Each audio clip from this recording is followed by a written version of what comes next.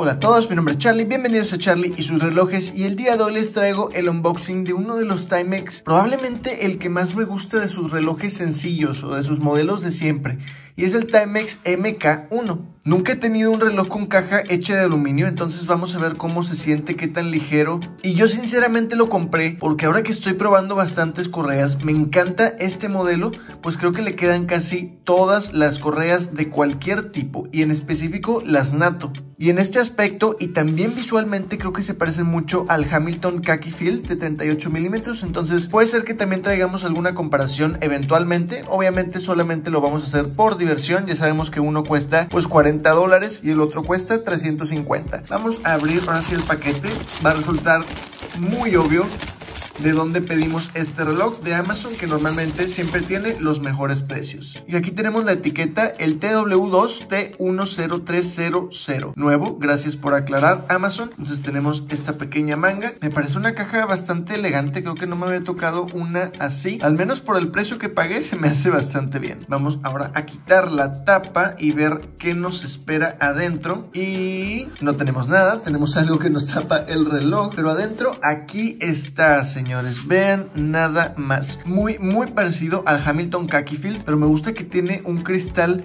en forma de domo. Este creo que es un cristal mineral. De nuevo, creo que no había tenido este tipo de caja. Se siente bastante, bastante lujosa. Acá de este lado tenemos el manual. Ya sabemos que no necesitamos nada de urgencia, pues es un simple movimiento de tres manecillas. Y de este lado, la garantía. Que viendo la garantía, al parecer es de Japón. Miren cómo viene absolutamente todo en japonés. Nos estamos internacionalizando en el canal de Charlie y sus relojes. Con razón, con razón teníamos un empaque tan lujoso. Se los prometo que esta almohadilla se siente bastante calidad. Pero bueno, vamos a ver qué más traemos. Vamos a quitarlo de la almohadilla y hacer esto para un lado. Y ya viendo un poquito más el reloj, tenemos este pequeño componente de plástico que detenía la correa. Acá tenemos pues acabados tipo sandblasted. De igual manera en la caja del reloj, tipo anodizado. En este caso es aluminio. Vamos a quitarle este pedazo de plástico para que empiece a correr el reloj. Y aquí lo tenemos. Como les digo, el cristal con domo es un cristal mineral pero le da una apariencia bastante bonita al reloj. Esta correa, pues creo que por el precio no está nada mal, ¿eh? Yo me la imaginaba casi completamente inutilizable. La que me vino en el Sigul cronógrafo 1963 era horrenda, prácticamente era inutilizable, al menos en mi opinión, pero esta de Timex me sorprendió bastante. Antes de seguir con el reloj, 40 dólares aproximadamente cuesta este Timex. A lo mejor en algunas ocasiones algo más, en algunas ocasiones algo menos, pero aproximadamente entre 40 y 50 dólares, lo cual me parece simplemente destacable. Vamos a quitarlo de la nato porque atrás tenemos algunas cuestiones que quitar, algunos stickers. Vamos a ver sumamente ligero. Aquí nos dice que es acero inoxidable, pero solamente la tapa trasera. Resistente al agua 30 metros. Vamos a quitarle este sticker que dice Filipinas.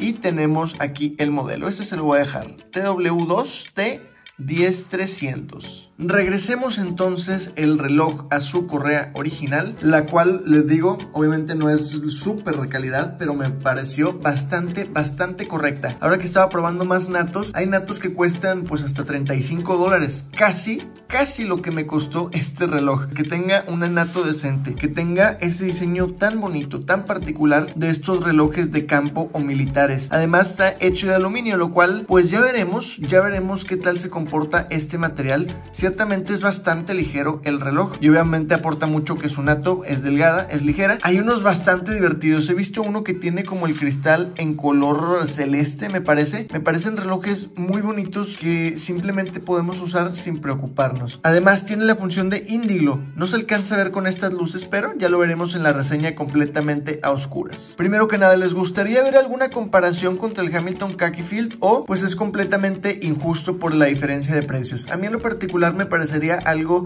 divertido, algo informativo, cómo varía la calidad y cómo varía en general lo que te llevas como paquete entre un reloj con diseño muy similar, pero que te cuesta 40 dólares a uno que te cuesta aproximadamente 350 dólares. Por favor, dejen los comentarios abajo, díganme qué correas le probaré, qué tipo de videos buscamos sobre este reloj, etcétera, etcétera. Cualquier otro tipo de comentarios, dudas, sugerencias, suscríbanse al canal para ver más videos como este y nos vemos en la próxima.